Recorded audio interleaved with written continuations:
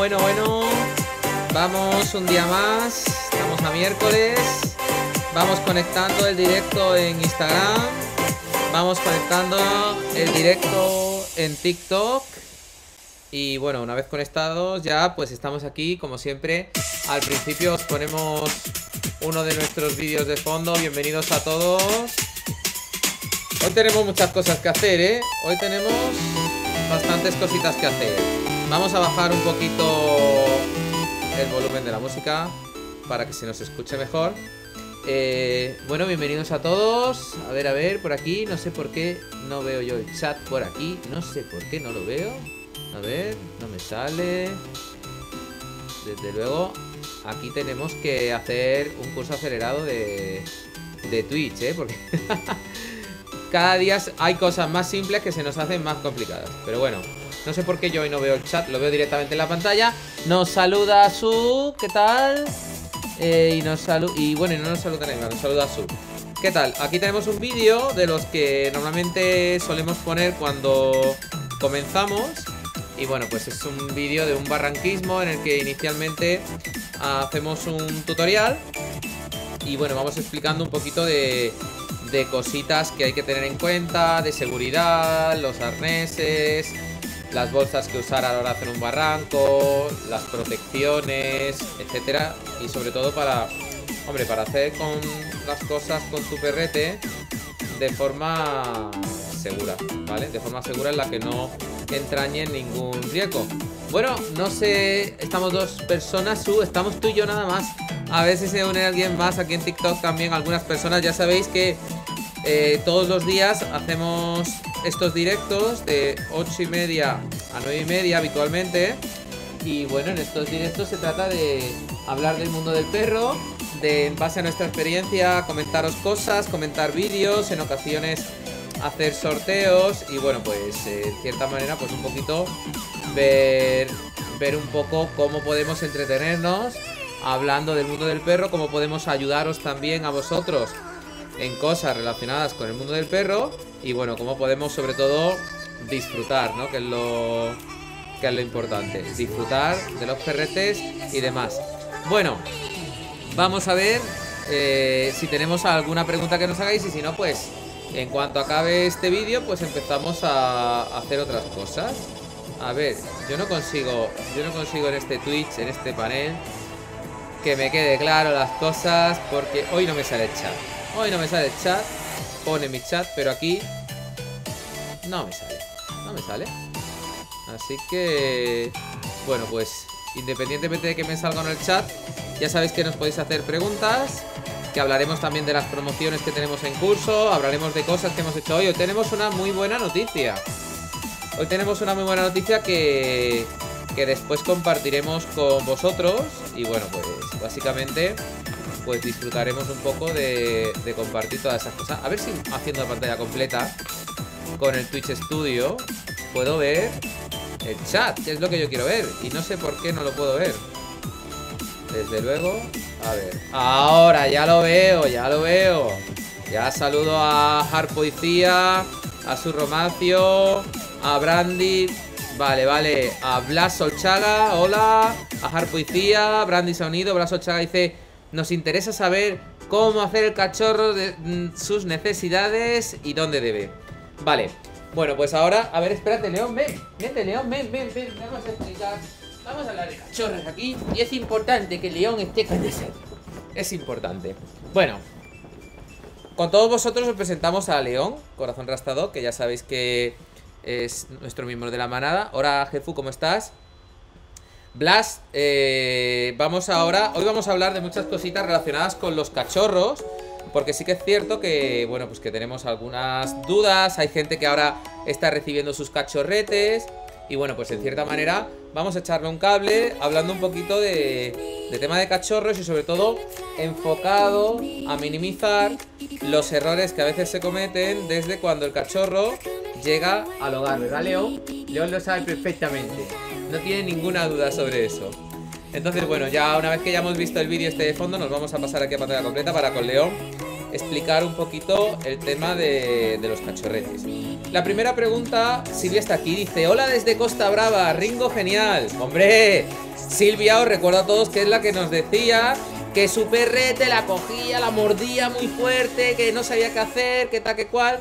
Y le dijimos, bueno, para enseñar a los cachorros a regular la mordida, hay que pegar un chillido muy agudo y muy exagerado, como si pegases un chillido súper agudo exagerado y descubrió Silvia el secreto de la regulación de la mordida. Entonces, eh, vamos a ver el de el de las Vale, espérate, que se nos ha colado aquí. que pidió permiso para verlos. Y veis, cuando ha acabado el vídeo ha saltado otro. Serpiente me muerde. nos caes muy bien, pero en el directo nuestro ahora mismo no. Estábamos hablando de cómo a Silvia le funcionó la regulación de mordida en su cachorrete, ¿vale? Entonces, eh, pues bueno, con ese chillido agudo cuando el perro muerde más fuerte de la cuenta, pues el perrete suelta y se da cuenta de que está mordiendo más fuerte de la cuenta. ¿Verdad, León? Es así como los cachorros entre sí, cuando son cachorros, se comunican, juegan mordiéndose, muerden todo, muerden todo, y cuando uno muerde más fuerte, pega un chillido hiperagudo y el otro entiende que se ha pasado mordiendo y que tiene que morder más flojito. Eso luego trasladado cuando el cachorro viene a casa e interactúa con los humanos, pues él va a ver pues cuando está haciendo daño o no. Entonces él va a morder de una manera o de otra y mientras el dueño no diga ese chillido igual que la comunicación con su manada él sabe interpretar, el cachorro no lo va a entender. Que te muere y tú dices, ah, no hagas eso, muy mal, no, no, no, no. Pues es como si el perro estuviera oyendo uno por uno, uno, dos por uno, dos, ¿vale? O sea, no está entendiendo nada.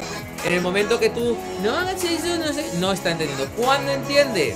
Cuando justo en el instante en el que clava el colmillo con más fuerza de la cuenta, tú emites un chillido de ¡Ay! Súper fuerte en donde él se sorprende y dice, ostras, que a mi papi le hecho daño sin querer.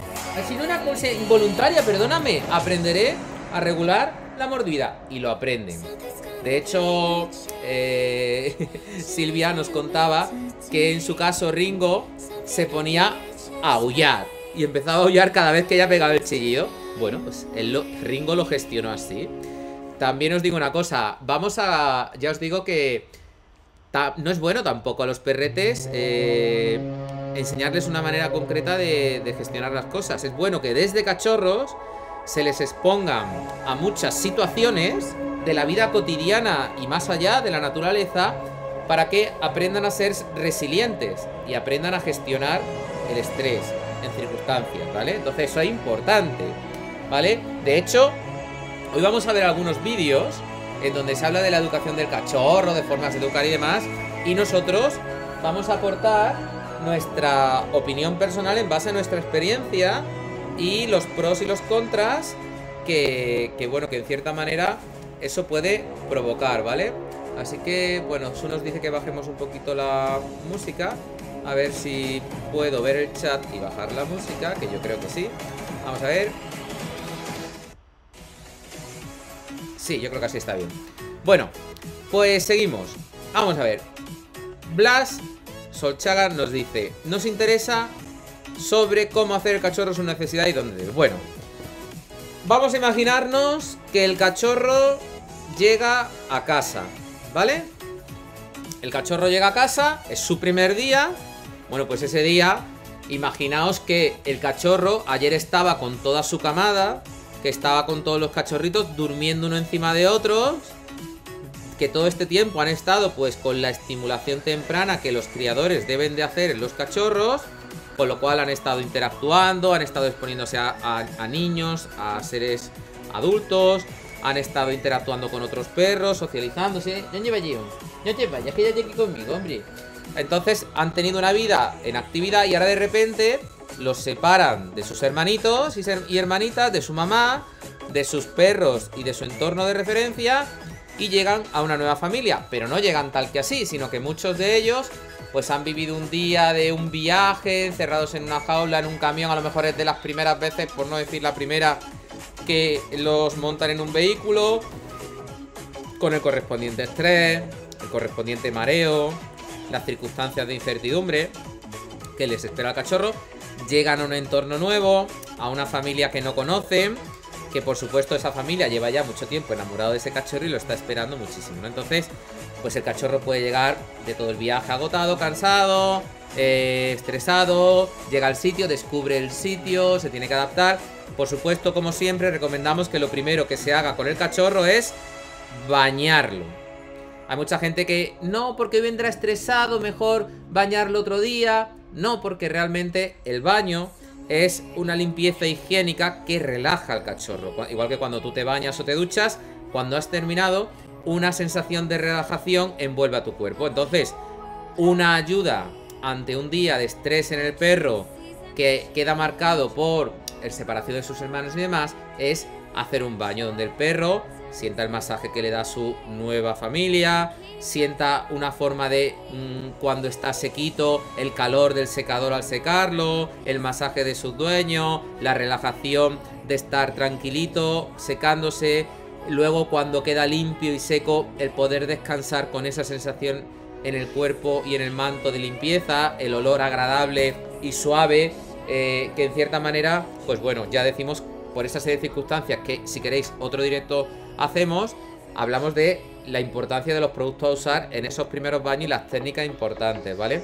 Hoy de hecho hemos estado dando unas pautas para unos papis, perripapis, que han recibido un cachorrete hoy, ¿verdad? Y le hemos estado explicando qué es lo que debían de hacer para evitar riesgos innecesarios a la hora de bañar a su cachorrete y luego asegurarse de que el cachorro quede perfectamente limpio, se quitas las orejas y todo esté de forma correcta. Entonces, bueno, pues ese primer día del cachorro es pues que el cachorro descubra, descubra la casa, esté tranquilito, se le bañe, se quede limpito. Dice, Blas, dice, eso somos nosotros. Sí, me imaginaba que, era, que eras tú, Blas y Gloria, ¿no? Vale, pues, eh, pues eso, sensación de limpieza, tranquilidad. Hoy el perrete hay que definirle con una mantita el lugar donde habitualmente cuando vosotros estéis sentados o donde paséis más tiempo va a poder descansar. O esa mantita que vamos a mover de un sitio a otro cuando queramos ubicar a nuestro perrete, ¿vale? Se vaya, hoy a lo mejor quiere estar un poquito más cerca de contacto humano porque ha estado con sus hermanos cachorros, bueno, vamos a ser comprensivos, vamos a hoy dejar que el perro se habitúe, mañana quizás también, y bueno, el tema que nos ocupa ahora es la pregunta concreta que han hecho de cómo gestionar los pipís y las cacas en los cachorros cuando llegan a casa, ¿vale? Aquí hay teorías de mucho tipo, ¿vale? Que sí que el empapador, que sí que el trozo de, de césped, etcétera, etcétera. Nuestra forma de afrontar el problema de los pipí y las cacas es un poquito más, eh, por así decirlo, o proactiva, ¿vale? Nosotros no vamos a enseñar al cachorro algo que luego pueda confundirlo. Por ejemplo, Gloria y Blas, exactamente. Gerardo y Gloria, perdón. Blas es el cachorro, es verdad. Que ya lo habéis, pues, Ya lo habéis bautizado con el apellido. Gerardo y Gloria, ok. Bueno, pues lo que vamos a hacer es... Los dos, tres primeros días vamos a considerarlos de habituación.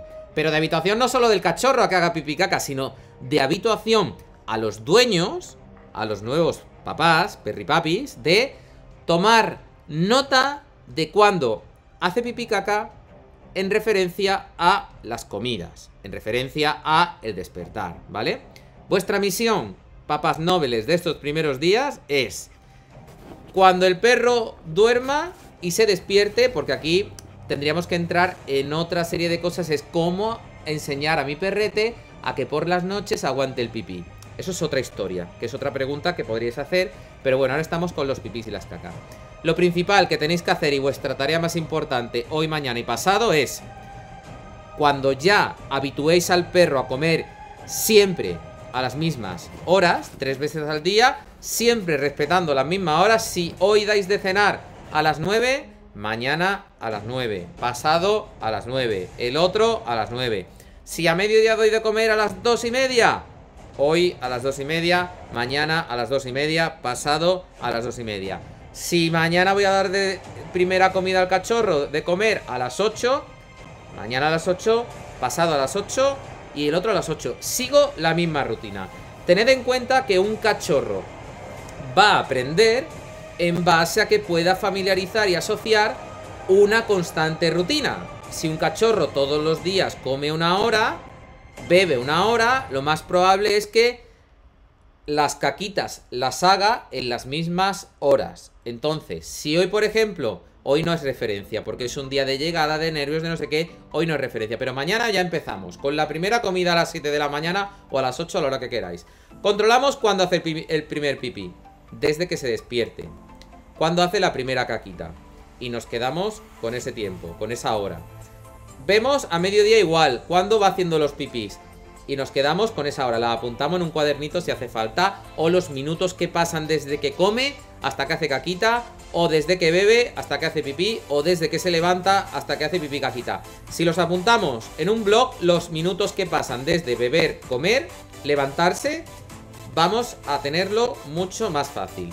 Y cuando lleva dos días, más o menos, repitiendo esa misma rutina de come y a la media hora hace caquita eh, se despierta y en el instante que sale de la jaulita o sale de donde está para dormir, hace pipí y a los 10 minutos caca. Pues eso, si mantenéis la misma rutina de comida y las mismas horas, es lo que va a repetir a diario. Entonces, si nosotros sabemos que nada más abrirle la jaulita cuando se despierte nuestro cachorro o el habitáculo donde vaya a dormir por las noches, si nosotros sabemos que lo primero que va a hacer es pipí y caca, lo cogemos la primera hora cuando digamos que el cachorro se ha despertado.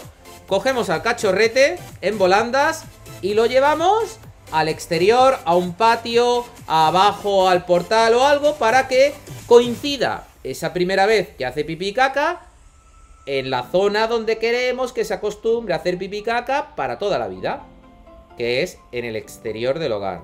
Entonces, cuando el cachorro coincida que en el exterior del hogar hace pipí o hace caca, nosotros vamos a hacer un refuerzo emocional. Olvidaros de premios y de historias. Refuerzo emocional. ¿Qué quiere decir? Cuando haga pipí, hace, se pone a sus dos patitas, hace pipí. ¿Y qué vamos a hacer? ¡Muy bien! ¡Muy buena! ¡Bravo, bravo, bravo! Al primer día no la va a pillar, al segundo tampoco, al tercero tampoco, pero va a pillarlo progresivamente. Que a los 5 minutos hace caquita. Cuando termina de hacer caquita, porque a ver si le vaya a asustar antes de que termine de hacer caquita. Cuando termine de hacer caquita, otra vez. ¡Qué buena! Instantáneo que termine, ¿vale? No esperéis 2 minutos, 3 minutos. Tened en cuenta siempre en el cachorro y en el perro. Tanto para reforzar como para reforzar positivamente y negativamente, tiene que ser en el instante donde hace la acción deseada o a corregir. Siempre en ese instante. Eso de corregir un minuto, dos minutos, tres minutos, una hora después, no sirve absolutamente de nada porque el perro nunca va a asociar ese refuerzo positivo o negativo a aquello que vosotros os referís, ¿vale? Entonces, recordar, siempre que premiemos positivamente, que reforcemos positivamente o que hagamos un refuerzo negativo, que podría ser el equivalente a un castigo, siempre tiene que ser en el instante en el que hace la conducta deseada en el caso de refuerzo positivo o indeseada en el caso de refuerzo negativo, ¿de acuerdo? Entonces ya sabemos una cosa. Sabemos que si mañana nada más despertarse hace pipí, nada más abrir los ojos, pues que mañana al día siguiente, nada más despertarnos, vamos a coger al perro en volandas, nos lo vamos a bajar corriendo al, jardín, al, al, parque, al bloque, al suelo del bloque, a donde queráis, lo vamos a saltar el suelo. Y cuando haga pipí, ¡buena! Y cuando haga caquita, ¡qué bien! Y lo subimos a casa. En casa sí, los primeros días donde estamos tomando nota de esas horas que hace pipí o caca, se hace caca dentro porque no hemos calculado bien la hora o porque estamos todavía adaptándonos a ese horario, no se dice nada. En otras palabras, los primeros días barra libre de pipí y caca. ¿Por qué? Porque no es culpa del cachorro. Es culpa nuestra que tenemos que estudiar sus hábitos y tomarnos nota de esas horas en las que el perrete suele hacer sus necesidades. Y es nuestra responsabilidad para que el perro aprenda el intentar hacer coincidir esos instantes que ya hemos estudiado y calculado previamente, aproximadamente, que coincidan en el exterior. Cuando lo haga en el exterior va a tener una super recompensa emocional positiva. Hola África. Eh, una super recompensa emocional positiva. Cuando coincidan dentro, indiferencia total. ¿Por qué? Pues porque aún el cachorro está aprendiendo, porque incluso aún todavía no tiene las vacunas aconsejadas y porque esto es un entrenamiento en el cual nosotros estamos premiando y reforzando positivamente la conducta que queremos que el perro tenga de por vida. Para mí, ¿qué sería un gran error? Pues que pusiéramos un empapador en casa, acostumbrásemos al cachorro a que entienda que en casa se puede hacer pipí y caca, y luego de repente, cuando tenga las tres vacunas, le digamos, no, no, que esto es que has aprendido de cachorro, ya no lo vuelvas a hacer más porque te voy a castigar. O ponerte césped en casa, el perro decir, este es mi espacio para hacer pipí caca porque es el entorno lo que el perro asocia, no simplemente el olor. Y que ahora cuando llega a los tres meses le diga a tu perro, oye, que no quiero que te hagas caca dentro. Oye, pues es que la culpa no es del perro.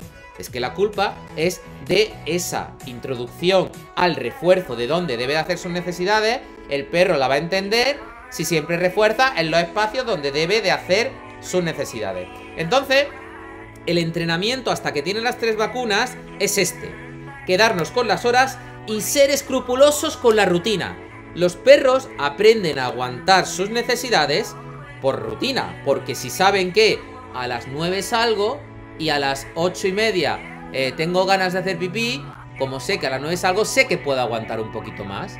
Cuando se les cambia la rutina de salida a los perros o la rutina de comida a los perros, destrozamos su forma de programarse y aprender a aguantar y aprender a gestionar el pipí y la caca dentro y fuera. El hecho de que nosotros cambiemos las horas de alimentación significa que su tránsito intestinal se lo vamos a cambiar. Y también hay que tener presente que si hay días que tenemos un excesivo entrenamiento, un excesivo ejercicio, se va a acelerar ese procedimiento. Con lo cual, más vale en las etapas iniciales de cachorro ser progresivo en cuanto a la actividad anotar muy bien las horas y los tiempos desde la comida, el despertar, eh, el beber agua, a hacer pipí, hacer caquita, quedarte con esos tiempos que vais a ver que se repiten frecuentemente y empezar a aplicar que coincidan esos tiempos aproximados con un margen de 5 o 10 minutos antes o después, fuera en la calle y premiar emocionalmente. Os vais a dar cuenta como cuando vuestro perrete, si seguís esa rutina, si sois rutinario, si sois, eh, si os adelantáis esos 5 o 10 minutos y tenéis esa horquilla de tiempo, si alimentáis a vuestros perros en las mismas horas y los sacáis en esos tiempos en los que sabéis que le hará, vais a daros cuenta como cuando llegue la tercera vacuna es probable que vuestros perros no se hagan pipí ni caca en casa. Porque ya han aprendido, gracias a vosotros, hacer coincidir esos tiempos en exterior, ya han aprendido a aguantar sus necesidades. Entonces, toda esta historia del empapador, mm, sea normal o sea de Mm, césped que metáis dentro de casa, lo único que va a hacer es un problema ahora, porque estáis acostumbrando al perrete a una rutina que luego vais a, cambiar radicalmente, y un doble aprendizaje, porque cuando lleguen las tres vacunas y queréis sacarlo más veces abajo, pues vais a tener otra vez que destrozar que el perro haya entendido que dentro de casa está bien, pero es que ahora también está bien fuera, entonces ¿qué puedo hacerlo? Dentro y fuera, un caos. La forma más didáctica, menos confusa para el perro de enseñarlo es esta que os he comentado desde nuestro punto de vista y nuestra experiencia. Y ya sabéis que quien tiene la responsabilidad absoluta de que esto tenga éxito sois vosotros, perripapis y perrimamis, a la hora de ser rutinario en las horas de las comidas Tomar nota de los tiempos desde las comidas hasta que los primeros días hace pipí o caca el perrete, o desde que beben agua hasta que hacen pipí, o desde que se levantan hasta que hacen el primer pipí o caca, y anticiparos al día siguiente, al otro día, a que esas horas, esos tiempos aproximados coincidan en exteriores. Y no tiene por qué ser en el parque de los perros, puede ser en el rellano del bloque, Puede ser en la puerta, en el jardín si tenéis jardín. Donde queráis que el perro haga sus necesidades. Y recordad, súper importante, un hiper refuerzo emocional de buena tal, cuando lo haya hecho, inmediatamente cuando lo haya hecho. Si nosotros seguimos este procedimiento, es probable que no tengamos que corregir a nuestro cachorro cuando pasen 3-4 semanas, porque el cachorro es más que probable que no se haga pipí dentro de casa. Si se hiciera pipí dentro de casa cuando ya este, este comportamiento lo tiene ya asimilado, también a veces hay que ser flexible y no se puede regañar al cachorro si existe un problema de una diarrea, de una gastroenteritis, está malito por algo, o nosotros hemos errado en variarle la rutina, darle un exceso de ejercicio o no corresponder con esos tiempos que sabemos en los que va a hacer caquita de sacarlo y sacarlo más tarde. Ahí no podemos regalar el cachorro porque es nuestra culpa, culpa. Pero si cuando ya tenga sus vacunas, cuando ya esto lo ha aprendido, cuando ya el cachorro hace pipí caca fuera y lo sabe y no se ha hecho en mucho tiempo caca dentro y no hemos incumplido nuestra rutina y porque le ha dado la gana al cachorro ha hecho una o dos veces pipí dentro de casa, si es que ocurre, que lo dudo, ahí sí nos tenemos que enfadar. Pero esto puede que ocurra a los cuatro meses, a los cinco, una vez espontánea, por algún despiste y tal. Pero no es normal que ocurra antes. Ahí sí nos tenemos que enfadar. Y tenemos que reforzar negativamente, ya sea emocional o de otra manera, a que el perrete saca pipí en el interior de casa. Pero ya os digo que es muy raro que siguiendo estas pautas que os digo, vuestro perrete se haga pipí o caca dentro de casa, sino que vais a acostumbrarlos desde el primer día que llega a vuestra casa a estudiar sus rutinas y ser vosotros proactivos en la educación y que vuestro perro asocie tiempos de salidas y demás. Evidentemente, al principio vais a ver que el cachorro hace pipí cada cierto periodo de tiempo con bastante frecuencia. Es importante que toméis los tiempos. ¿Por qué? Porque al principio, para que el perro también aprenda a aguantar, va a ser necesario que tantas veces como haga pipí hagáis que coincidan fuera si queréis enseñar a vuestro perro correctamente. Si no queréis esforzaros en que coincidan esas veces fuera, pues entonces no os quejéis si vuestro perro se hace pipí dentro. ¿Vale? Entonces, aquí ya os digo, no es solo el cachorro, es fundamental vuestra estructuración, vuestra, vuestro seguimiento de la rutina, las comidas a las mismas horas y los tiempos de referencia, ¿vale? No sé si tenéis alguna duda, alguna cosa que nos queráis preguntar al, respecto. Gerardo, Gloria, eh, ¿os ha quedado claro? ¿Tenéis alguna cuestión, alguna duda? Vamos a lanzaros un ladrido de tato de bienvenida. Hombre, que sé que os ha costado mucho registraros en Twitch. A ver, bueno, pues contadnos. Contadnos si podéis escribir qué os han parecido las pautas y desde luego que podéis desde ya ponerlas en marcha sin asumir ningún riesgo. Porque el que el perrete salga abajo en una zona en la que no hay otros perros, no hay restos de otras heces, no eh, expone a ningún riesgo al cachorro de transmisión de enfermedades por no tener las vacunas, con lo cual es, vosotros también estáis siendo previsores y haciendo que vuestro perro no se exponga a riesgos innecesarios sin tener las vacunas. Por eso digo que cuidado también con, las pautas que den algunos veterinarios de no saques el perro hasta que no tenga las tres vacunas. Eso sería el mayor error que podríais cometer en vuestra vida, ¿vale? Os voy a explicar. Eh, dice eh, Gerardo y Gloria, está muy claro, eh, es interesante, lo llevaremos a la práctica. Ya veréis cómo os va a dar unos resultados extraordinarios si lo aplicáis. Vamos a prevenir, porque gracias a Dios hoy día ya muchos veterinarios están mentalizados. Pero os voy a poner un caso práctico para que entendáis. Imaginaos que mañana vais al veterinario. Y el veterinario dice, no, no, no, no, no. Hasta que no tenga las tres vacunas, vuestro perro no puede salir de casa. No puede ver otros perros. No puede ir al parque. Cuidado con eso. Y os explico por qué. Los cachorros en donde ha habido un criador que ha hecho un trabajo de estimulación temprana para sociabilizar el perro con otros perros, para asociarle sonidos de parques, olores de parque, sonidos de la ciudad, para enseñarlo a socializar con humanos y tal. Si ese trabajo que han empezado, tú ahora llega tu cachorro a tu casa y durante los meses más importantes que van a condicionar el comportamiento de por vida de tu cachorro, que es hasta los tres meses, le cohibes un mes entero de socialización, de espacios, de ruidos y demás, te cargas ese trabajo que trae tu cachorro. Entonces, ¿cómo debo de enfrentar a mi cachorro a la realidad de la vida sin poner en riesgo el que pueda coger otras enfermedades? Pues vamos a ser creativos. Desde llevar a tu cachorro en una mochila, en una bolsa de Ikea, en un arnés, en una bolsa tal, llevarlo al parque. No tiene por qué oler el suelo, ni lo tengo por qué soltar. Pero sí tiene que ver perros, sí tiene que ver sonidos de coche, sí tiene que oír los pitos sonando los claxon, sí tiene que oír ambulancias, sí tiene que oler a qué huele el, el césped de lejos, sí tiene que ver todo ese entorno, tiene que ver gente andando a su alrededor, pero desde una bolsita. Y si estoy en un sitio donde no hay restos de heces, donde no pasean perros, que puede ser una acera un tramo de, paseo o tal, ahí puedo ponerlo en el suelo y que dé unos cuantos pasitos controlados, sin riesgo de que haya carretera cerca y demás. Siempre lo que hay que prevenir es que tu perro no se acerque a restos de heces, restos de pipís, restos de nada y cuidado con los jardines porque en los césped a veces se preservan restos de parásitos, entonces por eso no es adecuado bajarlo en jardines donde sepa que hay otros perros que, que, acuden habitualmente. Pero si tú tienes un familiar que tiene un jardín en casa, que no tiene perro y que está cuidado, al jardín de tu familiar a correr y a jugar, porque eso viene genial. Y no cohibidlo de las sensaciones, de las emociones, de los sonidos, de los olores, del entorno donde se vaya a desarrollar el perro.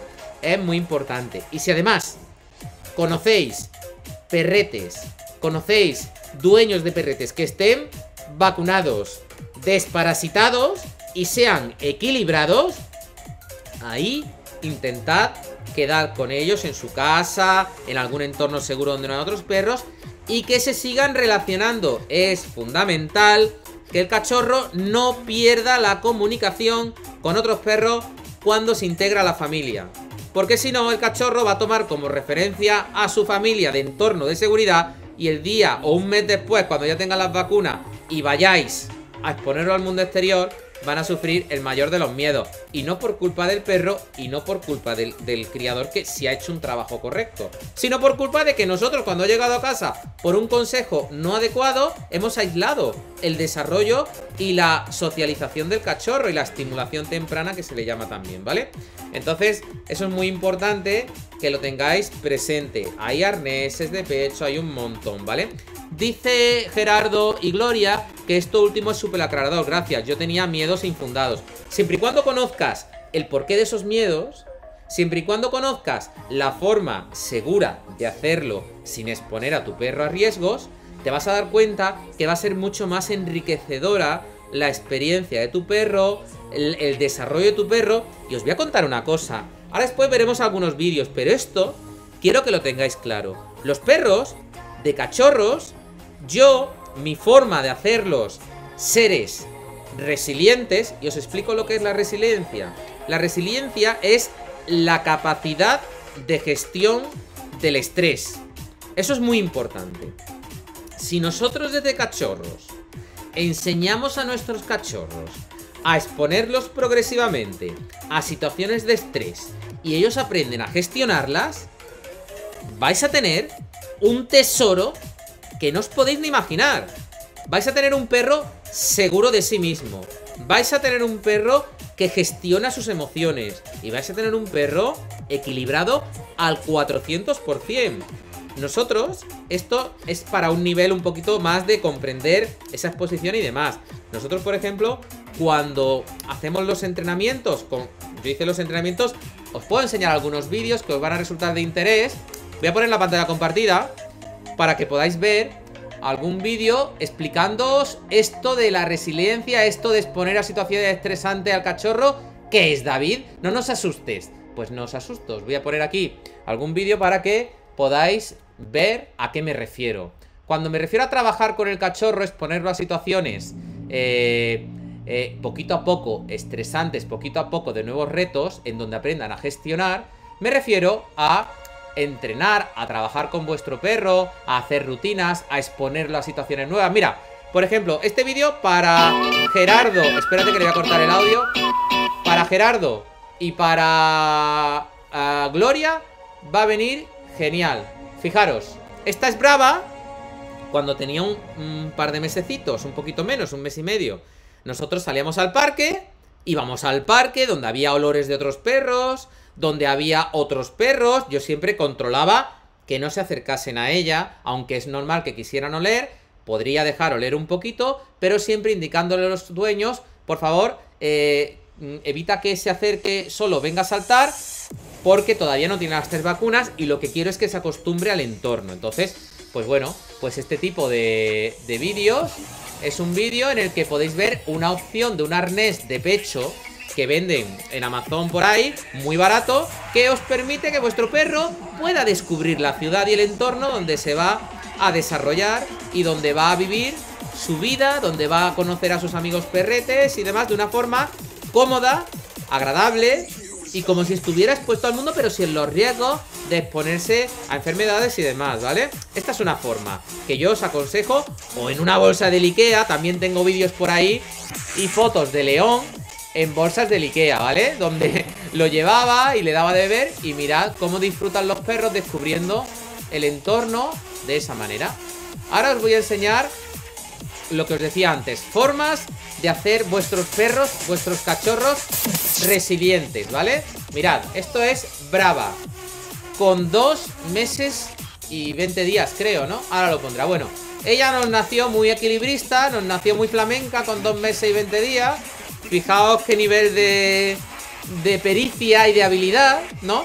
Y nosotros, con las poquitas herramientas que podíamos disponer, enseñábamos a lo que a ella más la motivaba, que eran algunos premios de comida, para habilidades y retos nuevos a aprender a subir una escalera, donde ella tiene que... ¡Ay, que se me escapa una patita! ¡Ay, qué tal! A subir un balancín y bajarlo con el golpetazo que pega y el ruidazo que hace eso. Que pega un susto que no vea. Pero si tú, de forma didáctica, progresivamente enseñas eso, a andar por superficies irregulares, si tú enseñas eso a tu perro, tu perro se hace más resiliente a situaciones nuevas se hace más resiliente a golpes fuertes. Se hace más resiliente a eh, terrenos irregulares, sonidos, el decirle sube por aquí aunque no lo sepa y se genera un mayor vínculo entre el dueño y el perro, ¿vale? Esto es importante también que sepáis diferentes formas. Esto que veis aquí que nosotros hacemos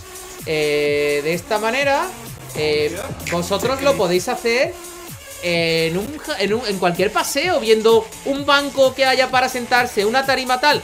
Sube arriba, arriba, muy bien, baja abajo. Podéis jugar con el entorno urbano para practicar un mini agility. Mirad qué pequeñita aquí, subiendo al balancín en sus primeras lecciones. Y el balancín, cuando pega en el suelo, pega un golpetazo que no veas. Pues bueno, ahí León también era un cachorro de tres meses más, que tenía seis meses y Brava tres, o cinco meses y pico. Y León pues jugaba con ella también, dándole seguridad, familiarizándose también con todo eso, que ya estaba familiarizado. Y es una forma, ya sea así, ya sea en el parque con un banquito, con alguna zona donde pueda saltar el cachorro, con un escaloncito.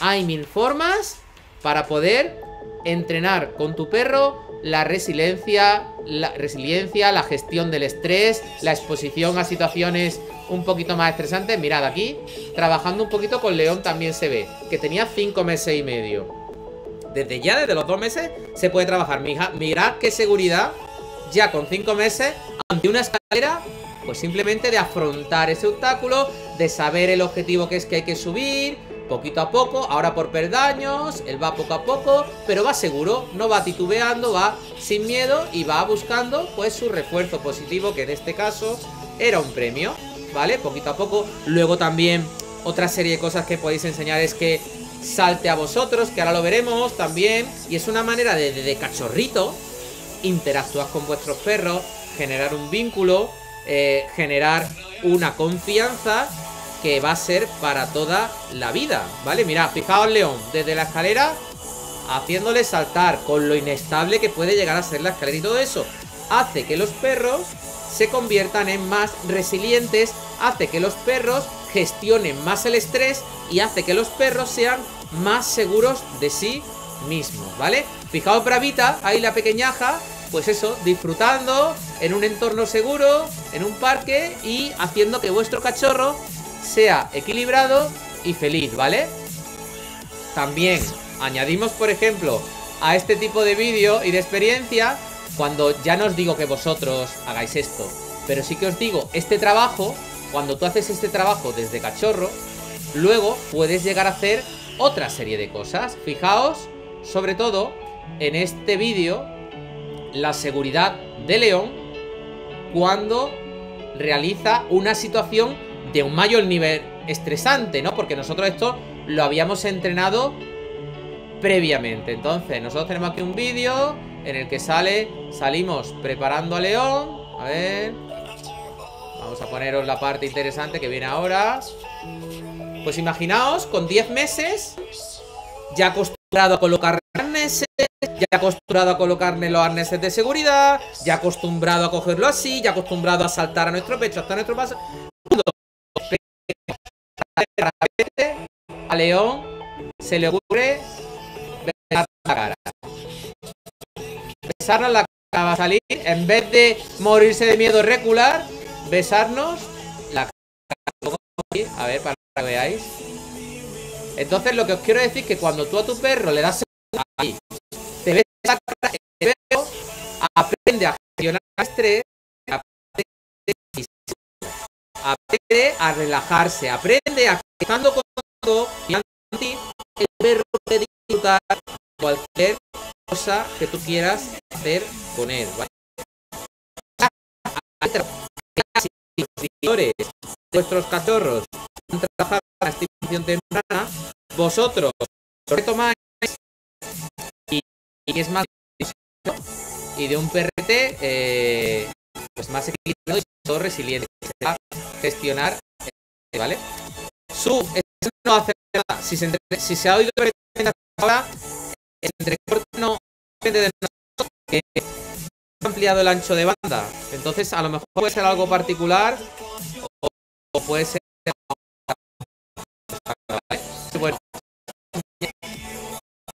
Eh, a un poquito el audio. Así. Vale, bueno pues eh, espero que más o menos os haya quedado claro algunas cosas relacionadas con el mundo del cachorro que realmente son importantes, ¿vale?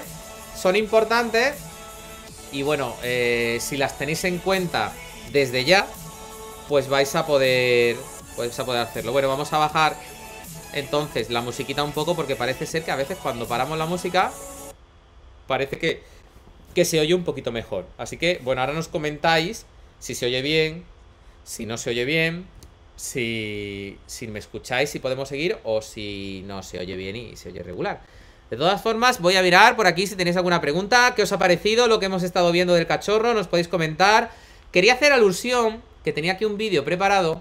Quería hacer alusión a que ayer estuvimos comentando la limpieza de los oídos en algunos vídeos que vimos en algún vídeo que vimos sobre cuidados y quería enseñaros el vídeo donde nosotros enseñamos cómo eliminar los pelitos del interior del oído. Esto es un vídeo que hicimos en 2016 donde un cliente nuestro que se llamaba Jordi nos pidió un vídeo para enseñarle la forma correcta de retirar los oíditos del interior del pabellón auditivo del perro de agua y ayer en el directo de ayer ya explicamos los casos cuando si es recomendable, cuando no es recomendable, la forma correcta, si primero hay que limpiar, si luego hay que limpiar, cuándo hacer la limpieza óptica y todo lo demás.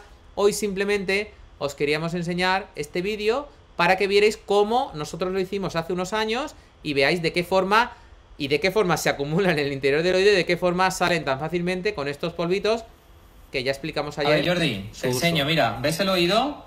El oído está así, tiene pelos por todos lados, entonces yo hago así. Es un perro de. Polvoreo por aquí. De más de un Por año. alrededor. Hago así con el dedo para que se quede bien espolvoreado el polvito. Y ahora, así, suavemente, voy cogiendo como mini pellizquitos. Y ves que va saliendo. ¿Ves? Mira. Casi, sí, casi ni lo nota. ¿Ves? Mira, mira. ¿Ves? Si aquí tiene más pelito y ves que no ha llegado el polvito al final del pelo, pues coge un poquito más de polvito y lo echas por ahí, los polvoreas y continúa. ¿Vale? Mira. Mira cómo va saliendo. Tú vas poquito a poco, no del tirón ni tirones, sino así. Poquito a poco, retirando pelito. Yo ahora mismo lo estoy acumulando todo en una especie de pegote, ¿vale? Que yo haría así, ¿ves? Enfoca el pegote. ¿Ves? Todo esto ha salido. Voy a seguir, porque aquí ves que todavía tiene. Voy a seguir, echo un poquito más de polvito. Lo espolvoreo así y voy a seguir quitando pelito, ¿vale? Ahora ves que por aquí, mira, ves, en esta zona pegada a esta, a esta zona de aquí, al oídito, hay más acumulado. Como tiene raíz profunda, le aplico un poquito más de polvito y ahora verás, porque ya hay que meterlo un poquito más, ya el origen del pelito no lo, no lo ha cogido tan bien, pero mira. Enfoca de nuevo aquí al pegote de pelo que le acabo de quitar. ¿Ves? Y espérate que vamos. Cuando ya veas que tiene pelito por aquí dentro, ¿ves? Mira, enfoca el. ¿Ves que ahí dentro tiene? Pues yo he hecho un poquito. Ahí. Igualmente, hago así y ahora meto el dedito en el agujero como un pellizco. En forma de pinza. Enfoca así. Meto el dedito como un pellizco y saco lo que pueda ver por aquí por dentro. ¿Ves? Se queja un poquillo y tal, porque tal, que se queje un poquito porque es el pelo que está Lo saco y reviso de nuevo a ver cómo está. ¿Ves cómo va quedando? Por aquí. Mira, y un poquito más, lo voy quitando a pellizquito, ¿vale? A pellizquito. Esta es la forma de quitar. Además verás que con el polvito se agarra súper bien. Es lo que hablábamos ayer. La Venga, paralo ya el vídeo, a ver si no va, va a poder... Vale, pues eso. Ay, ay, ay, que no nos salte otra vez. Ay, ¿qué ha pasado aquí? Nada, que no se saltó en directo. Vale. Bueno, pues ese vídeo quería añadirlo hoy para que. Bueno, bueno, bueno, a puntito, a Que yo aquí parece que estoy en todos los vídeos hablando por los codos. Ya está, ya lo he parado.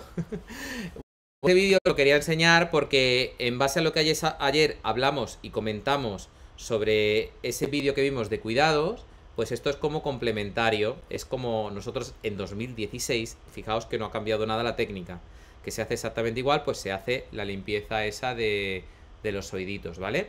Eh, no sé si tenéis alguna duda, pero si no tenéis ninguna duda, vamos a ver, eh, son las nueve y cuarto, a ver, ¿tenéis alguna duda? Podéis comentarme aquí en el chat qué os ha parecido eh, esto que hemos visto de antes, qué os ha parecido la explicación de cachorro, qué os ha parecido la explicación de cómo gestionar el pipí y la caca en los cachorros, qué os ha parecido la forma de poquito a poco exponer a vuestro perro al entorno cuando son cachorros de nuevas, qué os ha parecido los ejercicios que os proponemos para hacer con vuestros cachorros cada vez más y demás para que sean cachorros seguros de sí mismos, resilientes, para que continúen el trabajo. Ya sabéis que os vais a encontrar opiniones profesionales de veterinarios que os digan, no, aislar al perro, que no sé qué.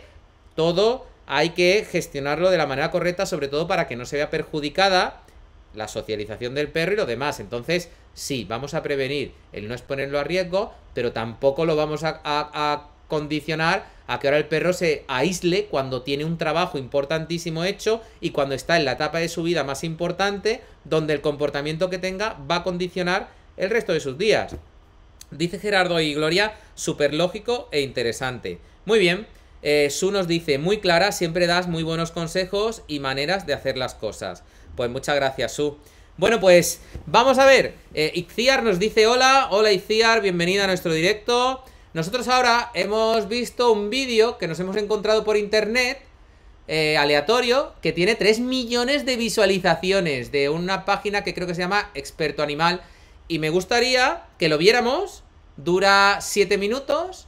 Eh, nos vamos a pasar hoy de tiempo seguramente. Pero creo que vale la pena porque hay muchas cosas que son muy positivas creo que eh, merecen la pena hablarse, ¿vale? Entonces vamos a verlo, como ya sabéis que cada día los vídeos que nos mandéis nos los podéis pasar y nosotros los que queráis que comentemos, que sean cortitos, que no sean largos, los comentaremos o si queréis un tramo de tiempo que lo analicemos, pues solo tenéis que mandarnos el vídeo relacionado con los perros y decirnos, David, comenta este vídeo que nos interesa saber tu opinión o queremos saber qué opinas, ¿vale? Y como siempre, antes de comentar un vídeo, decimos que nosotros vamos a exponer nuestra opinión personal en base a nuestra experiencia, nuestra profesionalidad y que por supuesto, por encima de todo, lo importante es que esos vídeos que comentemos tienen un trabajo importante hecho por detrás donde algunos consejos sean mejores o no tan buenos, lo importante es que intentan ayudar el bienestar al bienestar animal. Y nada más que por eso, independientemente de que los intentemos mejorar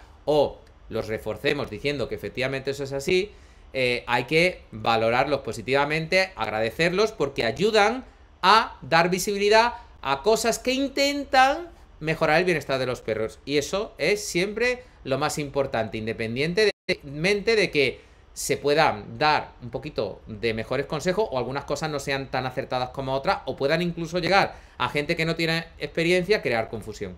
Así que vamos a proceder a ver el vídeo y lo voy a ir parando como siempre para que podamos comentarlo, ¿de acuerdo? Así que venga, le doy al vídeo. Los peludos están siempre preparados para acompañarnos en todas nuestras aventuras, sin la necesidad de para hacernos sentir que comprenden cada uno de nuestros estados de ánimo. Sin embargo, nosotros... Cosas que no debes hacer, 12 cosas que no debes de hacer con tu perro. Van a decirnos este vídeo las 12 cosas que no deben de hacer con tu perro. Vamos a ver qué dicen y qué opinamos nosotros al respecto. Porque les incomodan o no las entienden.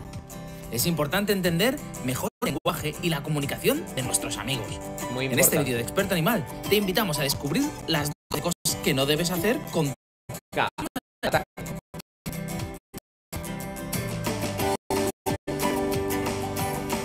Muy bien, experto animal, momento de gloria en nuestro chat.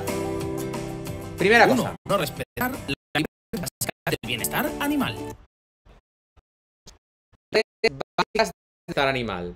Aquí han querido hacer un guiño a unos eh, manifiestos que salieron tras, si no me equivoco, la Segunda Guerra Mundial, que nosotros de hecho hicimos un artículo el año pasado, el año pasado cuando hicimos el máster en intervenciones asistidas con animales, de las libertades de bienestar animal. Lo que no me parece apropiado, y os lo explico, es que esto se incluya como lo que no debes hacer con tu perro, porque estas libertades básicas de bienestar animal se crearon sobre todo enfocadas a ganado, a animales de granja, a vacas, a corderos, a gallinas, a ovejas, animales de granjas, ¿vale?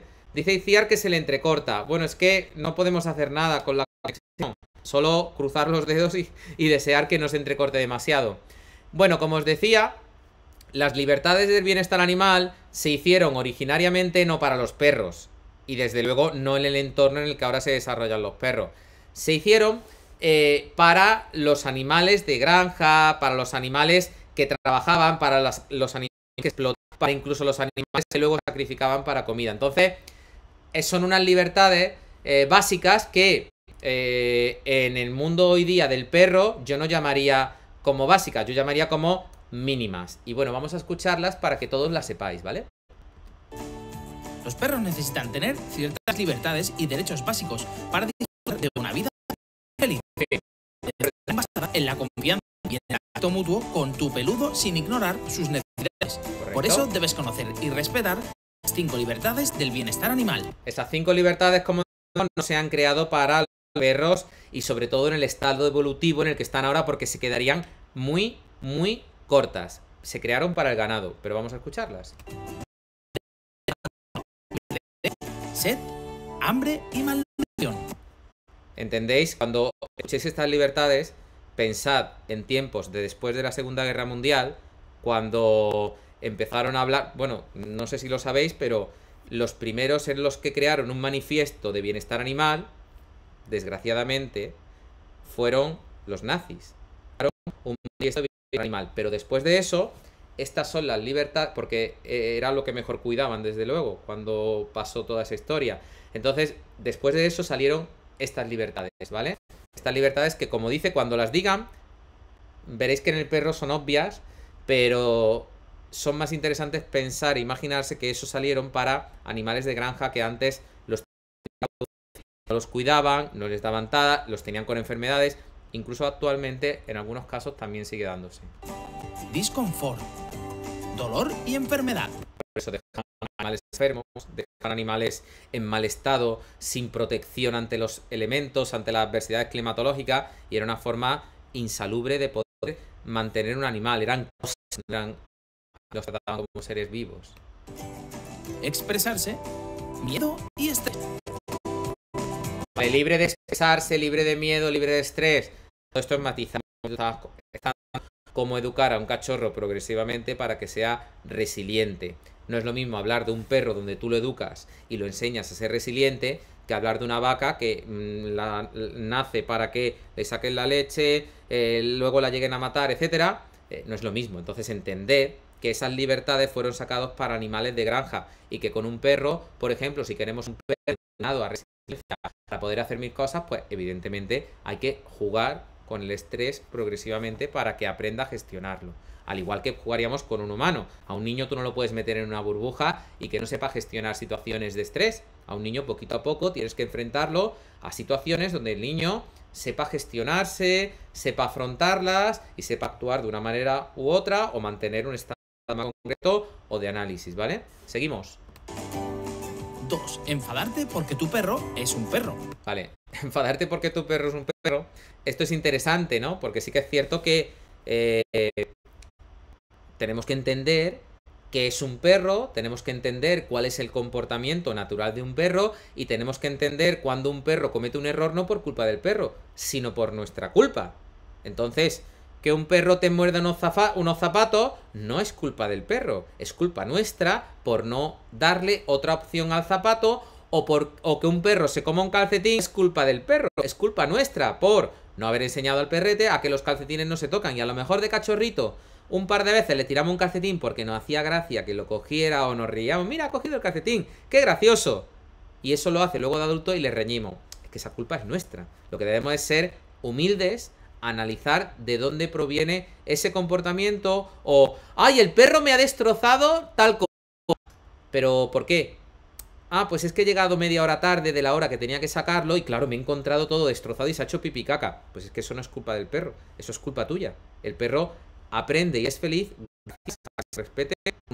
Hay que, este es un punto muy importante y muy bueno, hay que entender el comportamiento del perro, la naturaleza del perro y sobre todo ser humildes a la hora de autoculparnos cuando el comportamiento del perro no sea, por culpa nuestra, ¿vale?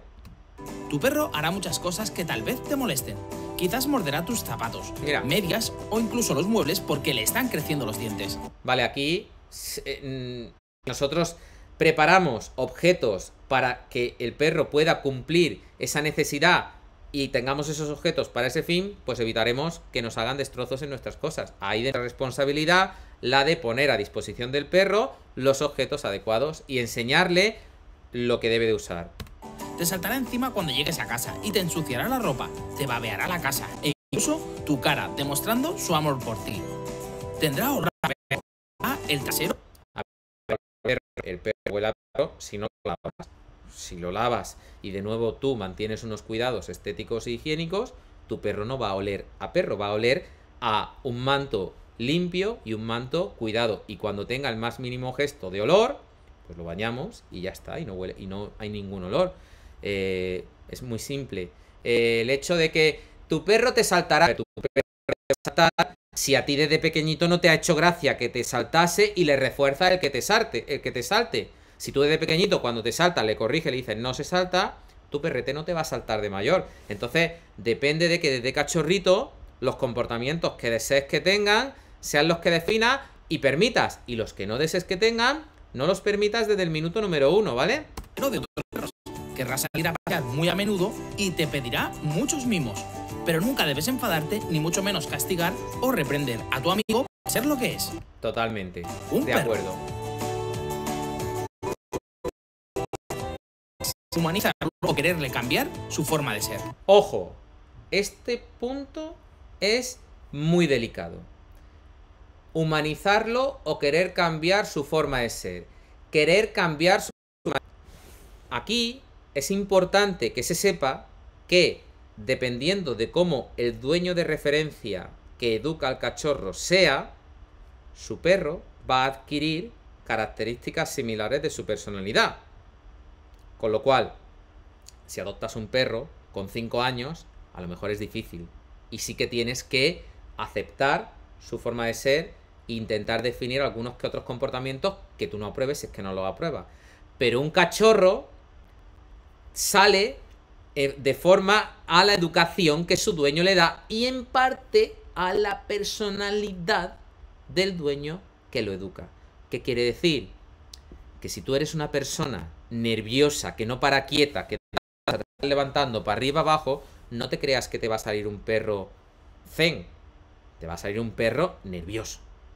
Si tú no tienes paciencia a la hora de enseñar algo a tu perro, no te creas que te va a salir un perro paciente y que sepa esperar. Te va a salir un perro nervioso.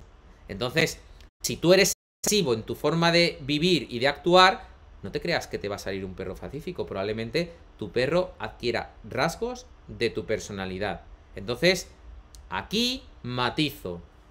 Si es un perro adulto con su personalidad definida y lo adoptas, no tendrás más remedio que aceptarlo y podrás variar un mínimo porcentaje. Si es un cachorro, va a ser tu personalidad cualquiera, con lo cual recuerda muy bien esto. Cada vez que tú te comportas, que tú actúas con tu perro desde cachorro, él va a adquirir parte de tu personalidad y va a reconocer tu personalidad y tu forma de expresarse. Para su vida va a ser su referencia. O sea, ¿qué quiere decir? que si tú, por ejemplo, haces este gesto "Ja, ja", y te enfadas y tu perro un día te da un beso y tú te alegras, tu perro va a reconocer tu cara de enfado y ese sonido como que para que no te enfades más, él te va a dar un beso. O sea, ellos van a estudiar tu personalidad y van a adecuar su comportamiento a ella, con lo cual esto es un poco mm, mm, mm, que vamos a ir matizando.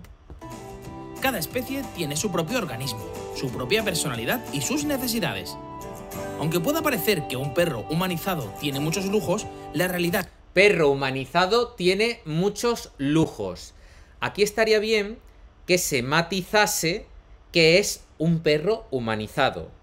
Desde mi punto de vista, un perro humanizado es el que se le otorgan comportamientos propios del humano incompatibles en el mundo animal. Y es donde, definiendo humanizado, podremos estar más de acuerdo o menos de acuerdo en una definición. Si yo digo, humanizar a tu perro sería que durmiera en la cama. Dormir en algo confortable es algo impropio del mundo animal o del propio mundo del perro. No. Eso no es humanizar a un perro. Vale, si yo le pongo una gabardina y le pongo una corbata a mi perro, ¿eh, ¿eso es humanizar al perro? Probablemente la corbata no sirva absolutamente para nada. Pero ponerle una gabardina a un perro para protegerlo del frío, protegerlo de la, de la lluvia o incluso del sol, en el caso que, fuera falta, que hiciera falta, me da igual. Si esa gabardina lleva dibujado una corbata, me da exactamente igual. El objetivo es. eh, ¿Es malo en un perro protegerlo contra la luz, contra, el so- contra la lluvia o contra el frío? No, eso no es humanizar a un perro. ¿Vale? Eh, ¿Es humanizar a un perro hacerlo andar a dos patas con una mochila así? Pues sí, eso sí es humanizar a un perro. Porque la naturaleza del perro o del animal no es andar a dos patas. Y, probablemente para enseñarle ese comportamiento de andar a dos patas, aunque nos haga mucha gracia, el perro ha tenido que sufrir estrés y modificación de su comportamiento natural. Con lo cual, eso sí es humanizar para mí. Eso sí es un riesgo. Eso sí es algo que no aporta nada al perro ni ayuda en ningún fin. ¿Vale? Ni tampoco sí es, es una mera habilidad, sino que es un comportamiento que a la larga puede acarrear consecuencias que influyan en su bienestar. Con lo que os digo que, y aquí añadimos lo que en otros directos hemos complementado, que es, hay que diferenciar entre perro consentido y malcriado. Y entendemos como consentido que disfruta de los recursos que el humano quiere poner a su disposición para su bienestar, donde hace caso a su dueño en cuando, cuando tiene que saber si usarlos o no usarlos. Y malcriado es cuando el perro hace lo que le da la gana y no le importa las indicaciones de su dueño. Entonces, no fomentamos el que se malcríen a los perros, pero que se les consienta si son educados y respetan nuestras indicaciones y nuestras guías, a mí me parece correcto. Vamos a seguir viendo el vídeo, ¿vale? es que este perro sufre porque no puede expresarse libremente. Debemos respetar y querer a nuestros peludos por su propia forma de ser, en todas sus similitudes y diferencias con los seres humanos. no define nada, no explica nada, no dice a qué se refiere con humanización, con lo cual habla en términos generales sin concretar nada y no define algo, sino que deja un término en el aire que no concreta. 4. Permitirle todo y no educarlo correctamente. Muchas personas ignoran lo importante que es educar correctamente a un perro. Por eso, desgraciadamente, vemos perros siendo abandonados por sus familiares Totalmente por presentar cierto. problemas de conductas, probablemente asociados a una mala educación. Debes educar a tu peludo y enseñarle la La mayoría de las adopciones provienen de la mala educación que se le da a los perretes, la mayoría de los perros que se entregan en adopción. Gerardo y Gloria nos dicen, nos despedimos, hay mucha tarea, muchas gracias, seguiremos en el canal. Gracias a vosotros. Seguimos viendo. las normas del hogar. Así podrás prevenir problemas de comportamiento y accidentes domésticos. El adiestramiento es el mejor ejercicio para estimular a tu perro a nivel físico, cognitivo, emocional y social. Si quieres saber las órdenes básicas de adiestramiento, no te pierdas el vídeo que te dejamos aquí arriba en la tarjeta. Bueno, 5. Castigarlo física o emocionalmente. Castigarlo físico. Vamos a escuchar qué dice. Si queremos educar a un perro, nunca debemos golpearlo, castigarlo, encerrarlo, gritarle o Vale, nunca debemos Aquí, evidentemente, encerrarlo no sirve para nada, castigar, golpearle no sirve para nada, aunque hay situaciones en las que un toque hay que dar, eh, pero que no genere dolor. Eh, y gritarle, eh, aquí discrepo en ciertas ocasiones y lo matizo. Porque gritar al perro, evidentemente cuando estamos en casa no es necesario porque te escucha. Pero cuando tu perro está en un entorno natural, donde hay sonidos de la ciudad, donde hay sonidos incluso de la naturaleza, donde el perro está a distancia, Tú me dirás cómo te vas a comunicar con tu perro si no pegas una voz, ¿vale? Entonces tampoco es plan de que tu perro a la mínima voz que pegue se asuste porque nunca haya oído elevar la voz. Y muchos comandos que pueden salvar la vida a tu perro se tienen que dar en forma de grito, porque es una situación de peligro a distancia donde gracias a tu grito el perro bloquea lo que iba a hacer, que iba a poner a exponerlo a un riesgo y puede ser que lo salvemos. Entonces, discrepo totalmente en educar a un perro usando los recursos que, se puedan hacer, aunque sean de refuerzo negativo, por ejemplo, como el gritar en algún caso concreto, como el dar un toque en algún caso concreto. Eso es necesario para la educación canina, ¿vale? Ofenderle o regañarle. Regañarle, no se puede regañar al perro. Esto es un poco absurdo porque enséñame cómo tú educas a un perro en cosas que no debe hacer, en cosas que tu perro tiene que aprender eh, que sí que está el refuerzo positivo muy bien, pero que hay cosas básicas y fundamentales las que no podemos esperar siete meses a que tu perro a base de chuchería aprenda que está mal, sino que hay que usar un mix de recursos donde en lo que sí que estoy de acuerdo es que golpear a tu perro nunca se debe de hacer, ¿vale? Golpearlo en sí no tiene ningún sentido. Todas estas técnicas, entre comillas, no tienen nada de educativa. Claro, si tú no regañas a tu perro, eso no es educativo. Tienes que no regañar a tu perro pues no tienes ningún sentido. Porque te habla en general, pero no te habla de, casos concretos de la educación canina en donde cómo usas, si solo usas refuerzo positivo, nunca hay refuerzo negativo. Y el refuerzo negativo puede ser simplemente eh, el ignorarlo, puede ser una voz, puede ser un tono, elevar un tono más grave de la cuenta, puede ser eh, mirarlo de una forma fija, pueden ser muchas cosas. Entonces, evidentemente eso, toda situación de reprimenda o de refuerzo negativo genera un estrés en todo el mundo, en todo ser humano, en todo animal viviente. Y de hecho, los perros, las mamás de los cachorros, utilizan todas estas técnicas para educar a sus cachorros. Los corrigen, les dan toques, los asustan con gritos, los asustan con gruñidos. Entonces, ¿qué nos quieres decir? Eh, no estoy nada de acuerdo en que ignoremos la naturaleza de comunicación de los perros para educarse entre sí y apliquemos unas técnicas utópicas que suenan geniales, pero que no se adaptan a la realidad, ¿vale? Seguimos viendo el vídeo. Y exponen a tu peludo a emociones muy negativas como el miedo y el estrés.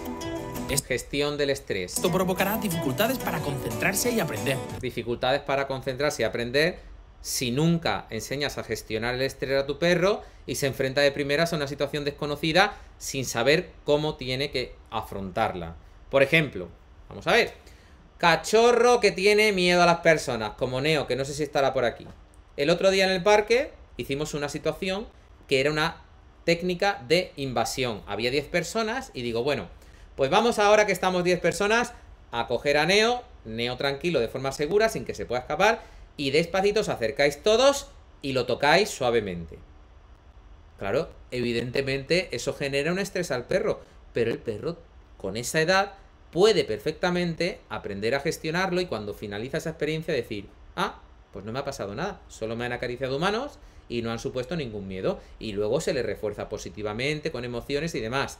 Pues claro, es que esa es la forma correcta de enseñar a un perro a no tener miedo a lo humano, no cogerte un quintal de salchicha y empezar todo el mundo a darle salchicha, salchicha, salchicha, salchicha, salchicha. Y a lo mejor cuando haya engordado 5 kilos, al perro ya no le dan miedo a las personas. Si es que con el miedo te acepta comida, porque los perros cuando tienen miedo normalmente bloquean el apetito, ¿vale? Pero bueno, seguimos viendo.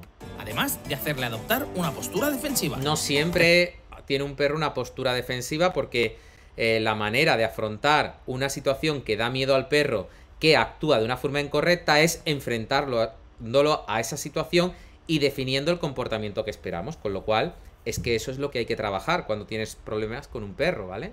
Te recomendamos que optes por el refuerzo positivo, que estimulará sus capacidades Claro. y El refuerzo positivo aquí enseñan solo comida, pero el refuerzo positivo puede ser también el juego, puede ser también las emociones de su punto de referencia, o sea, de sus dueños. Y me inclino que para la obediencia básica uséis eso, la, las emociones del dueño, porque encima va a generar un vínculo más especial con vosotros. Si vosotros siempre usáis el refuerzo positivo de la alimentación, vais a tener auténticos mercenarios que sin comida no, son- no os van a hacer ni puñetero caso.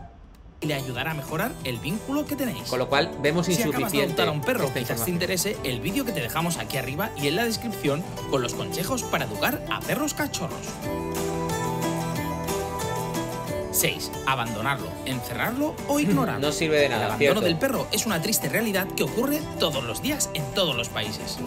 En muchas ocasiones puede evitarse si creamos conciencia a la hora de adoptar y entendemos qué implica esta acción. Muy importante Adoptar la un perro de requiere planificación previa, Total. mucha responsabilidad y sobre todo Así mucha atención. Y Un perro es un animal inteligente y sensible que necesita Cierto. tiempo y espacio para desarrollarse correctamente. Muy bien, Así, no podemos esperar que aprenda todas las normas de convivencia en una semana. correcto. Por otro lado, un perro desatendido también es un perro abandonado, Total. aunque siga viviendo en casa. Por ello, si no le proporcionas los cuidados que requieren para estar sano y feliz, Muy bien. estarás abandonando a tu perro. Me parece correctísimo. Y de conciencia y de tenencia responsable. divertirte provocándole emociones negativas. Nunca debemos hacer que nuestro perro se sienta incómodo, nervioso o se enfade solo para divertirnos por un momento, Estoy de acuerdo en eso también. Estoy de acuerdo, ¿eh? por muy curioso que nos resulte. Si a tu perro no le gusta que le soples o se siente incómodo cuando lo abrazas, simplemente respétalo Y parando también porque hay que matizar, ¿vale? Hay que matizar. Hay juegos del dueño con el perro que el perro a veces también te provoca. Por ejemplo, a mí Brava, cuando quiere jugar conmigo, empieza a pegar dentelladas al aire para captar mi atención. ¿Me entiendes? O yo, por ejemplo, eh, pues con Brava le hago, le doy así un susto y ella sabe que quiero jugar. Entonces aquí no deberían de generalizar tanto, sino que deberían también de entender el lenguaje particular entre un dueño y su perro y el vínculo especial de cada dueño con su perro, donde ellos mismos saben qué señales son de la familia, son de, de la comunicación entre ellos que no necesariamente tienen que generar un miedo, una incomodidad, sino que forman parte de la comunicación normal. Y que por supuesto no tienen que ser comunes en, a otras experiencias, porque lo que con mi perro puede ser algo normal que nosotros hemos desarrollado un vínculo o un juego en torno a una actitud, en otro perro puede ser signo totalmente de lo contrario. Entonces es importante aquí hacer un matiz para entender que el vínculo entre el dueño y el perro puede llegar a crear situaciones donde comportamientos que en otras circunstancias puedan ser arriesgados, en otras circunstancias, en circunstancias donde hay un vínculo con el dueño y una forma de comunicación, pueden ser que no tienen que dar ningún pie a preocuparse por nada, ¿vale? y no lo hagas. Antes de continuar, no Pues aquí son de sí o no, no, hay que matizar, todo no es ni blanco ni negro, hay que eh, matizar y en algunas cosas por supuesto que sí que estamos totalmente de acuerdo con, con lo que están explicando, cuidados, ¿vale? Aquí explican cómo suscribirse, etcétera. ¿Ya ni más? ¿Ya ni más? Ah, vale. 8. Llevarlo al veterinario solo cuando está enfermo. Es esencial realizar consultas previas al veterinario cada 6 meses Consultas previas al veterinario cada seis meses para verificar el estado de salud de tu peludo. para verificar el estado de salud de tu peludo. Bueno, esto es relativo. Lo que sí que es importante, que, que creo que dirá ahora, es, por supuesto, las desparasitaciones internas, las vacunas, la protección contra parásitos externos cuando toque, pero realmente, eh, y la formación e información de cada propietario, ¿no? Pero evidentemente, eh, bueno, sí, una vez al año hay que llevarlo para vacunar, pero aquí mucha gente sí que es cierto que se queja a veces de que cuando visitan al veterinario y no tiene nada el perro, bueno, cuando tiene algo siempre es caro. Y cuando no tiene nada también es caro siempre. Entonces, aquí estaría bien que a lo mejor, pues las clínicas veterinarias, para donde no exista ningún problema o prevención de comportamiento o educación, establecieran algún tipo de tarifa adaptadas a, pues eso, revisiones o chequeos habituales que no necesariamente al dueño le hagan pensar que es un importe muy elevado, sino que más bien es un mantenimiento por el bienestar del perro. Y la alternativa a eso es, por supuesto, formarse, informarse, e intentar mantener a tu perro a todos los niveles lo más eh, sano posible a nivel de alimentación, a nivel de equilibrio mental, a nivel de equilibrio físico, a nivel de, de, de cuidados estéticos, higiénicos, etcétera, ¿vale? Seguimos. También es importante respetar su carta de vacunación. Muy bien. Y desparasitarlo periódicamente. Correcto, Esto lo mantendrá libre de enfermedades y problemas de comportamiento. exactamente. Aparte de el equilibrio mental y físico con la salida y demás, ¿vale? 9. Regañarlo horas después de hacer algo inapropiado. Ni horas ni minutos. Se tiene que regañar en el instante. Eso es una cosa importante que deberían de haber concretado más. Cuando tú regañas a un perro, solo va a entender el origen de esa reprimenda o de ese refuerzo negativo en el instante que hace la conducta indeseada. Al igual que cuando premiamos un perro, lo va a pillar en el instante en el que hace la conducta deseada. No horas, no minutos. Es, y asocian en algunos estudios que he leído, eh, algunas recomendaciones que se han hecho, es en las dos terceras fracciones de un segundo donde tenemos que reforzar positivamente o negativamente. Hay que hacerlo inmediato. De hecho, es como se entrenan comportamientos es, estamos atentos al perro cuando hace la conducta deseada, premio, si es una habilidad. Cuando hace la conducta deseada, premio. Que quiero que me mire mi perro, estoy así. Cuando me mira mi perro, premio. Miro para otro lado y de repente fijo la mirada. Cuando me mira mi perro, premio. Así es como se refuerzan las conductas, en el instante. Y si es negativo, en el instante que hace la conducta deseada, es cuando hay que corregir y es cuando el perro lo va a entender. No horas ni minutos. Cuando regañas a tu perro, le haces experimentar estrés, miedo y ansiedad. Pero es que, evidentemente, el refuerzo negativo es fundamental a la hora de educar un perro, un niño y cualquier ser vivo que pueda ser adiestrable o educable. algo que impacta negativamente en su salud mental y por lo tanto en su comportamiento. Si lo regañas por algo que sucedió hace horas o días, No tiene sentido. conseguirá entender la razón de tu enfado Totalmente y esto generará mucha desconfianza. Aunque lo regañes dos minutos después o un minuto después, tampoco vas a saber por qué es, porque es demasiado tiempo, ¿vale?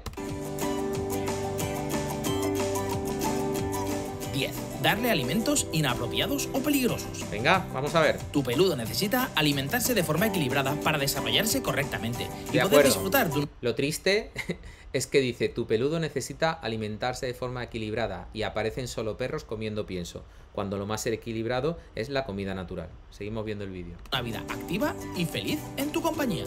Es igual de feliz un perro comiendo una bolita industrial durante toda la vida que un pedazo de muslo, de pollito o de o una verdura o atún o boquerones. No. Eso debes saber que hay alimentos prohibidos para él, como Alimentos- el chocolate, el azúcar, Aquí es donde volvemos otra vez a cometer el error de generalizar. ¿Que el chocolate es malo? Sí. Si un perro en función del peso se te puede llegar a comer 10 tabletas de chocolate completas y tabletas de chocolate con leche puro, ¿vale? Entonces, con todo esto de los alimentos prohibidos, si los puedes evitar mejor, pero no va a pasar nada porque la toxicidad de casi todos los alimentos que existen está en las cantidades que le des. la zanahoria no es tóxica para los perros, pero si le doy una tonelada de zanahoria es malo. Pues claro, te cargas al perro. ¿El pienso es bueno para los perros? Sí, claro, pero ¿y si le das una tonelada de pienso, te lo cargas? Pues te lo cargas al perro. Pues, ¿el chocolate es malo para los perros? Sí, pero si le das una onza no le va a pasar nada. Si le das siete tabletas de chocolate a tu perro, pues sí, te lo cargas. Pues igual que con todo, por eso siempre es importante matizar las cantidades en función del peso. la sal y hasta algunas La sal, como si los piensos no llevasen sal. Que llevan tela de sal. frutas y verduras que pueden ser tóxicas Algunas frutas y verduras que pueden ser tóxicas. O sea, aquí. Y el pienso no es tóxico. El pienso no se pronuncia ahí que también en el medio y largo plazo es tóxico. No se pronuncia ahí que cada vez hay más muertes, más alergias alimentarias provocadas por el pienso. Se dice que algunas frutas y verduras. Déjalo ahí abierto. Y eso es que encima es comida natural. para los perros. Infórmate bien y Infórmate bien.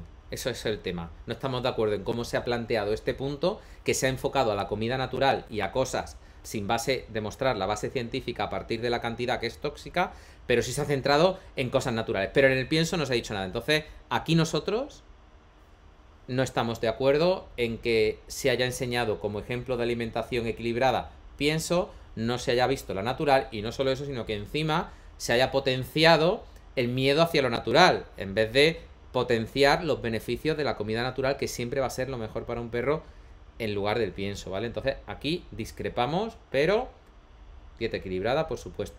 Y respeta las capacidades de su organismo y sus requerimientos nutricionales.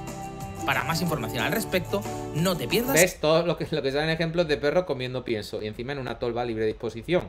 Cosas que no son ni recomendables ni aconsejables. El vídeo que te dejamos aquí arriba y en la caja de descripción con los Si alguna vez queráis que veamos alguno de estos vídeos y lo comentemos, solo tenéis que decirlo. Y podéis coger cualquier vídeo de internet. ¿vale? 10 alimentos más dañinos para tu perro. Telita con el artículo ese también. 11. Privarlo de tener una vida social saludable. Para la mayoría de los perros, los paseos son uno de los momentos más felices de sus días, Totalmente ya que de son acuerdo. altamente sociables y disfrutan interactuando con otros perros. Perfecto. La socialización del perro es una parte clave de su educación porque les brinda la posibilidad de convivir e interactuar con otros animales o personas con su seguridad y autoconfianza, Muy bien y muy evitando que se importante. muestren agresivos o miedosos. Pero ojo, ojo con qué perros socializar. Porque hay perros que están como puñeteras cabras porque sus dueños no los educan y pueden ser un riesgo y fuente de problemas en tu perro si se relaciona con ese tipo de perros y generarle miedos y generar una serie de problemas. Con lo cual, aquí de nuevo tenéis que ser vosotros responsables a la hora de seleccionar los entornos donde vuestros perros se relacionan y con qué perros, ¿vale? 12.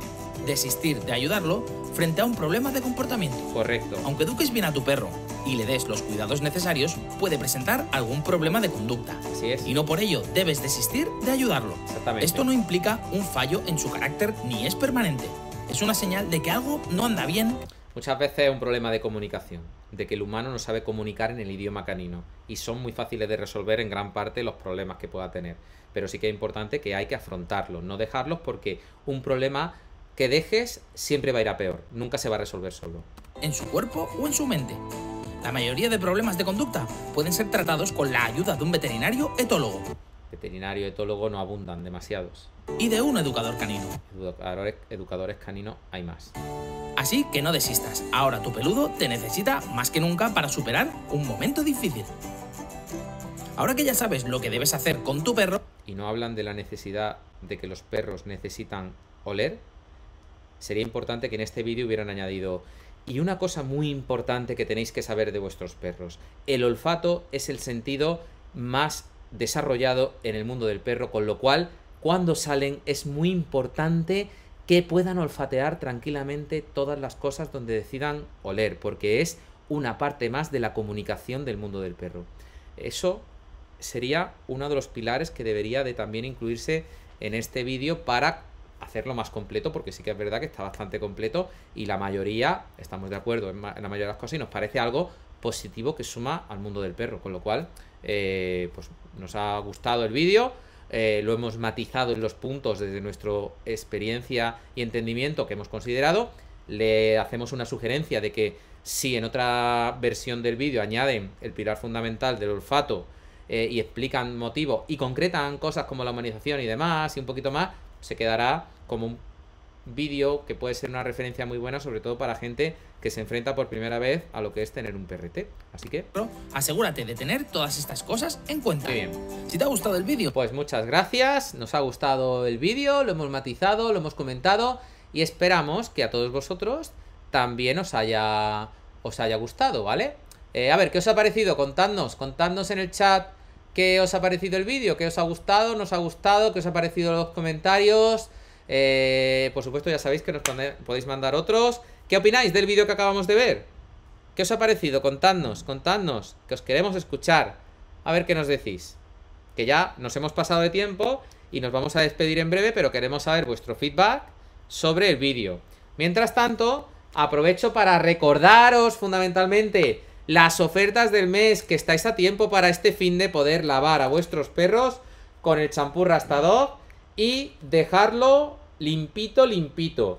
Si hacéis vuestro pedido, mañana jueves sale y el viernes lo tenéis en casa. Y la promoción que tenemos comprando el bote de litro, os regalamos un bote, un sobre Rastadog, os regalamos un descuento de 10 euros, los portes gratis y, por supuesto, os llamamos por teléfono para explicaros técnicas en las que optimizar el resultado.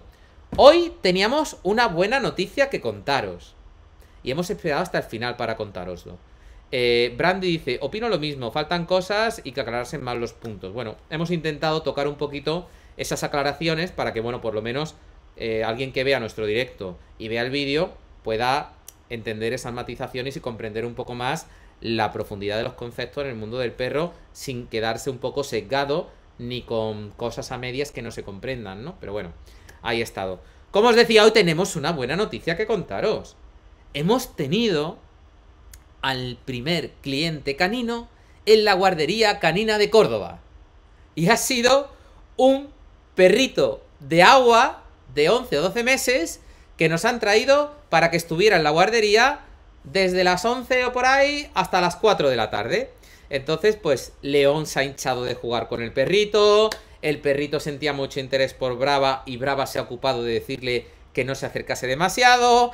Hemos disfrutado en el parque también cuando hemos salido con el perrete. Y bueno, nos lo hemos pasado muy bien. Y el perrete creo que ha estado bastante a gustito. Luego ha venido su dueño, se lo ha llevado. Y nada, le hemos mandado algunos vídeos al dueño para que los viera y demás. Y bueno, pues hemos inaugurado, por fin, después de casi un mes de haberla presentado, la guardería canina con nuestro primer eh, alumno de la guardería. Así que, bueno, pues era una cosa que quería compartir con vosotros a modo anecdótico. Y bueno, pues eso, como ya sabéis, estos días hemos mandado un email en donde hemos presentado promociones y donde también hemos intentado enseñar a nuestra cartera de clientes y también a gente que se ha suscrito a nuestros emails cómo registrarse en Twitch para que puedan seguirnos. Entonces, oye, si nos queréis ayudar, ¿qué podéis hacer? Pues los enlaces o los emails que os hemos mandado con el procedimiento de a gente que le gusten los perros, que quieran ver nuestros directos y aprender y aportar contenido e interactuar con nosotros, lo que podemos hacer es compartirle esos emails para que si se quieren apuntar, se apunten, nos sigan y cada día podamos hacer más grande esta comunidad en la que vamos ahí poco a poco currándonos cada pasito y que actualmente ¿cuántos seguidores somos? 85 seguidores. No está nada mal, me estoy oyendo de lejos. No está nada mal. 85 seguidores en dos semanas aproximadamente. Pues está muy bien. Pero solo con vosotros podremos crecer. Así que si nos ayudáis, igualmente, si nos ayudáis, por supuesto, pues usando nuestros productos para mantener vuestros perros sanos, etcétera. Eh, compartiendo la información que os mandamos, los posts que ponemos en redes sociales. Hoy, por ejemplo, compartíamos un post que está por aquí. A ver, aquí compartíamos un post en Facebook. Aquí está. No, no está aquí. Está que enlazábamos al email ese, donde pues pueden saber las promociones nuestras que tenemos y aparte el enlace a nuestro canal de Twitch. Pues bueno, pues esos posts se pueden compartir eh, para que a lo mejor pues gente que le pudiera gustar y disfrutar de este contenido que os ofrecemos a diario, pues se puedan unir y cada día hacer un poquito más, más grande nuestra comunidad, ¿vale? Así que bueno, pues nada, hoy nos hemos pasado media hora prácticamente. Muchísimas gracias por haber estado con nosotros, por haber disfrutado de este tiempo, de este ratito. Os agradecemos vuestro tiempo, espero que hayáis disfrutado. Ya se va acercando el viernes. Eh, y espera, espera, espera, que aquí creo que había una cosa que siempre me pregunto, ¿qué es esto? ¿Qué es esto? Pero ahora no me sale, no sé por qué. Pero bueno, pues nada, seguiremos intentando descubrirlo y cuando lo sepamos ya lo utilizaremos. Que nada, que muchísimas gracias. Muchas gracias por vuestro tiempo. Deseamos que seáis felices. Os deseamos que os vinculéis con vuestros perros. Que os protejáis contra el coronavirus. Y mañana más, ya sabéis, mandadnos vídeos si queréis que los comentemos. No demasiado largos o concretándonos los minutos donde deseáis que no lo comentemos, ¿vale? Así que muchísimas gracias. Hasta mañana. Muchas gracias, Sira. Muchas gracias, Su, Policía, Brando, Brandy PDAE. Y a los que estéis ahí, que nos, que nos estéis pues dando, apoyando, viéndonos y aprendiendo y disfrutando. Y estando este, entretenidos también. Muchas gracias a todos. Y hasta mañana. Subimos un poco la música y nos despedimos. Chao, Oreo My Pet. Gracias a vosotros. Bueno, bueno. Chao, chao.